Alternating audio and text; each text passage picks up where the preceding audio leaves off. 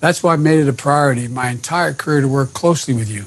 From the time I got to the Senate 180 years ago, you know, as well as my tenure as vice president.